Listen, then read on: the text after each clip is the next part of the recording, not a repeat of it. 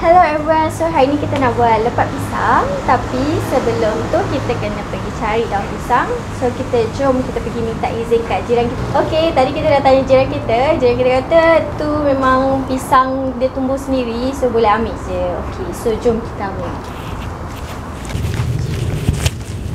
Weh, rasa aku rasa macam tinggi sangat Bye-bye, bye-bye cameraman Aduh, ada baik sebabkan satu pelepah je. No, tak ambil jangan pakai baju yang terang-terang eh. Nanti getam lekat. So, kita buang dia daripada dia punya ni apa eh?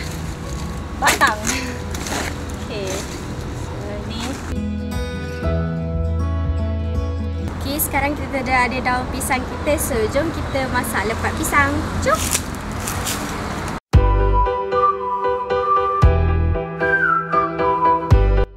Bahan-bahannya 2 sudu besar gula pasir, 1 cawan tepung gandum, 2 inci gula melaka, setengah cawan kelapa parut, 13 biji pisang emas, secubit garam, 1 pelepah daun pisang.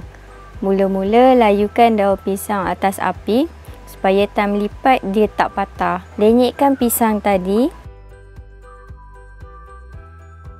Masukkan gula melaka.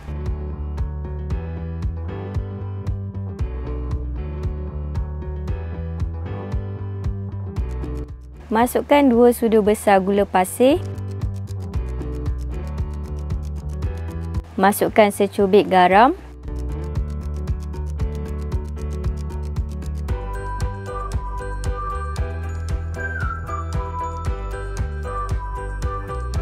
Masukkan setengah cawan kelapa parut.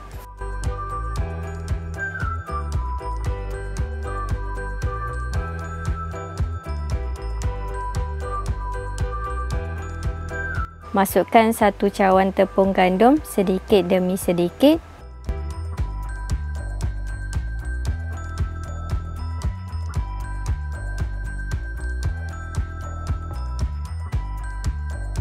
Kalau pisang berair sangat dan lembik, tambah sedikit tepung.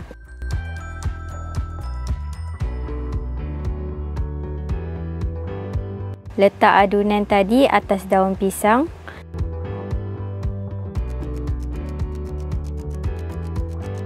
Lipat kemas-kemas.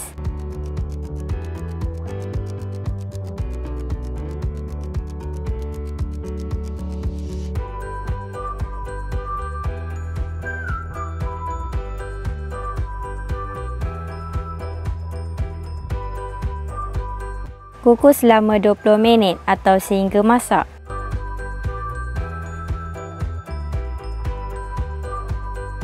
Dan sedia dimakan. Jangan lupa subscribe dan like, tekan butang loceng untuk dapatkan notification video baru saya.